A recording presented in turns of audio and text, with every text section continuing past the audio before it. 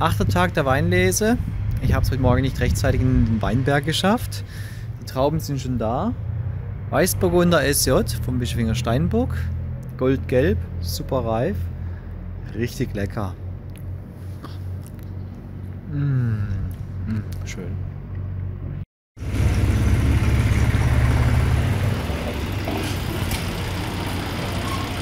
Und wie schmeckt sie?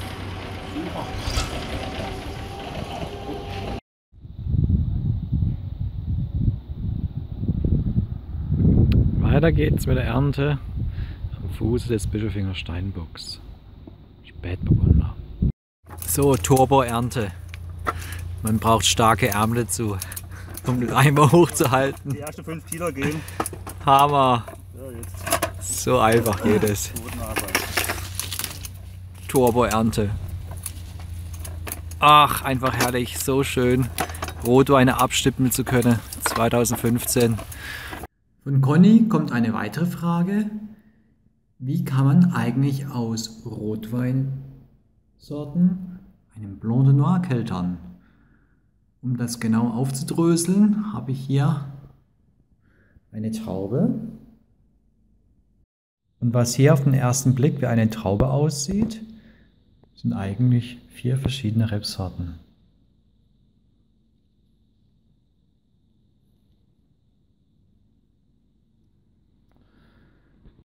Würde mich interessieren, ob jemand von euch erkennen kann, um welche vier Rebsorten es sich hierbei handelt. Fangen wir mal mit dem ersten an. Diesen hier. Spritzflecken drauf. Und es geht ja um Blanc de Noir.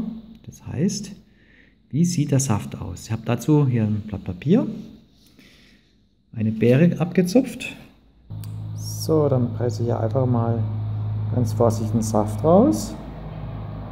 Wie man sieht, ist das schön klar und hell. Und so funktioniert eigentlich die Bereitung vom Blanc de Noir. Man muss die Trauben einfach ganz vorsichtig und ganz sanft auspressen. Und so erhält man einfach nur einen weißen, hell gekelterten Saft. So, jetzt wir mal die Kerne noch raus. Seht, das Fruchtfleisch auch schön grün.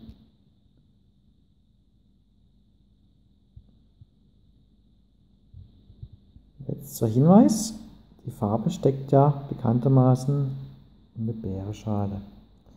Das heißt, drückt man die Trauben ganz fest aus, wie man sieht, wird der Saft etwas bräunlicher, gelblicher. Jetzt drücke ich noch weiter aus. Und schon kommt die erste Farbstoffe heraus. Und da sieht man jetzt noch ein bisschen so, ja, noch, noch fester drauf gequetscht. So, ist eine schöne Zeichnung.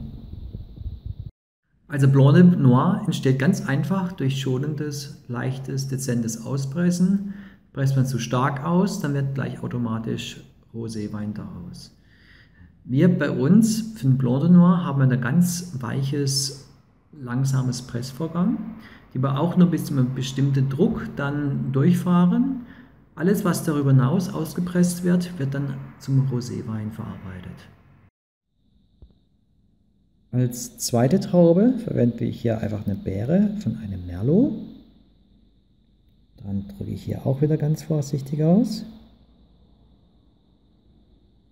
Oh. Wie man sieht, kann man noch so vorsichtig ausdrücken. Die, die Grundfarbe ist schon etwas rötlicher.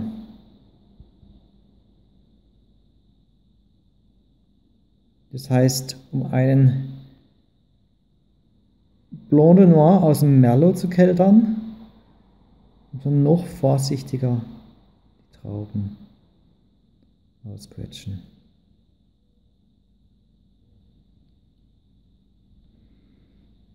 Dann als nächstes hier ein Cabernet d'Orsa. Gehen wir den da aus. Und zwar sich draufdrücken.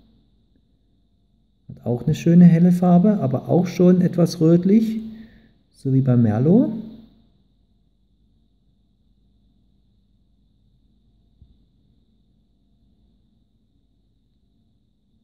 Das quetsche ich mal stärker drauf. So, und schon wieder dunkler. Und zu guter Letzt eine Hammersorte, die wird verwendet, um auf den Spätburgunder mehr Farbe einzuhauchen.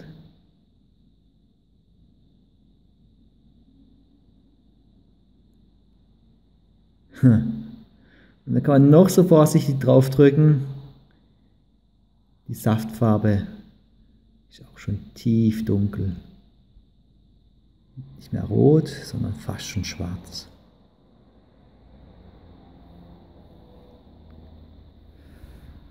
So. Ha. So ist nämlich Kunst. Hm. Schmutzige Finger. Aber wie ihr seht, Blonde Noir kann man nicht aus jeder Rotweinsorte keltern, sondern der Grundsaft muss schon hell genug sein. Und ähm, es macht einfach Spaß, mit diesen Bären solche schöne Figuren zu malen. Und ich hoffe, euch hat es gefallen. Ich habe nicht verraten, diese letzte Rebsorte. Vielleicht weiß jemand von euch. Ihr könnt es gerne als Kommentar hinterlassen. Welche Rebsorte habe ich hier zum Schluss ganz tief dunkelschwarz ausgepresst? Hier haben wir jetzt die dunkle Pressfraktion vom Rosé. Und wie man sieht, hat es eine schöne dunkle Farbe. Rosé 2015. Wenn ihr noch weitere Fragen habt, dann freut es mich, wenn ihr einfach einen Kommentar hinterlasst oder einfach per E-Mail eine Frage stellt. Ähm, ich bin offen für alle Schandtaten. Wie man sieht, es macht richtig Spaß, diese schönen Antworten für euch zu produzieren.